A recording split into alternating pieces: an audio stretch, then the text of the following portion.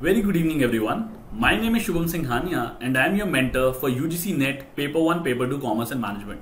तो आज मैं एक बहुत ही अच्छी न्यूज़ शेयर करने वाला हूँ अगर आप नेट स्टूडेंट हैं सेट स्टूडेंट्स हैं या फिर पीएचडी क्वालिफाइड स्टूडेंट्स हैं तो एक बहुत ही अच्छी न्यूज़ आ रही है that is from UGC side कि यूजीसी ने एक जॉब का अकेडमिक पोर्टल क्रिएट कर दिया है जी हाँ आपने बिल्कुल सही सुना। स्टूडेंट्स को बहुत चैलेंजेस होते हैं कि हम कहाँ वैकेंसीज देखें, अगर हमने नेट क्वालिफाई कर लिया है। अगर हमें असिस्टेंट प्रोफेसर की पोजीशन पे अप्लाई करना है तो हमें कौन कौन से प्लेसेस पे या कौन कौन सी वेबसाइट्स पे जाना चाहिए। तो यूजीसी ने यहाँ आपका काम आसान कर दिया है। यूजीसी ने अपनी वेबसाइट डब्ल्यू पे एक एकेडमिक पोर्टल क्रिएट कर दिया है, जिसपे आप एज अ कैंडिडेट अगर आप नेट क्वालिफाइड स्टूडेंट हैं, अगर आपने सेट क्वालिफाई किया है, या फिर आप पीएचडी भी क्वालिफाई कर चुके हैं तो आप उस पर अपना प्रॉपर प्रोफ़ाइल बना सकते हैं।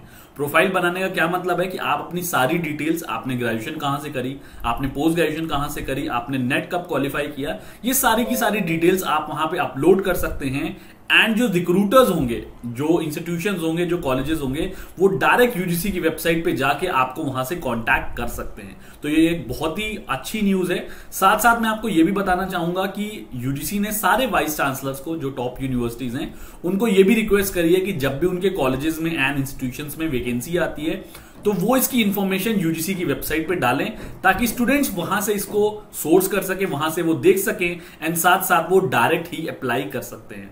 तो यहाँ पे जो सबसे इंपॉर्टेंट फ़ायदा हो रहा है या सबसे इंपॉर्टेंट चीज़ जो हो रही है, वो ये हो रही है कि अभी तक स्टूडेंट्स को अलग अलग कॉलेजेस की वेबसाइट्स पे जाना पड़ता था, जिसकी वजह से कुछ नोटिस के बारे में उन्हें पता चलता था एंड कुछ नोटिस मिस हो जाते थे। अब एक सेंट्रलाइज पोर्टल बना देने से सबसे पहले तो ये होगा कि सारे रिक्रूटर्स जो भी इंस्टीट्यूशन हैं, जो भी कॉलेजेस हैं, वो डायरेक्ट आके वहाँ पे प्रोफ़ाइल देख पाएँगे।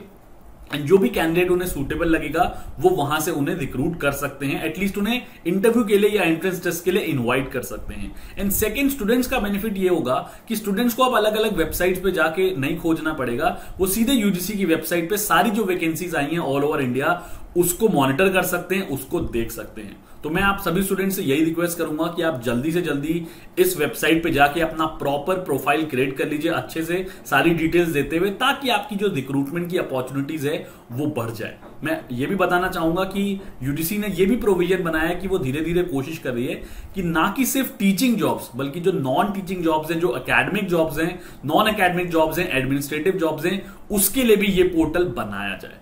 तो इससे रिगार्डिंग जो इंपॉर्टेंट नोटिफिकेशन है, वो मैंने डिस्क्रिप्शन में दे दिया है, आप उसे देख सकते हैं। एंड जल्दी से प्लीज़ अपनी प्रोफ़ाइल बना लीजिए, ताकि आप जल्दी से जॉब्स अवेल कर पाए। So thank you and take care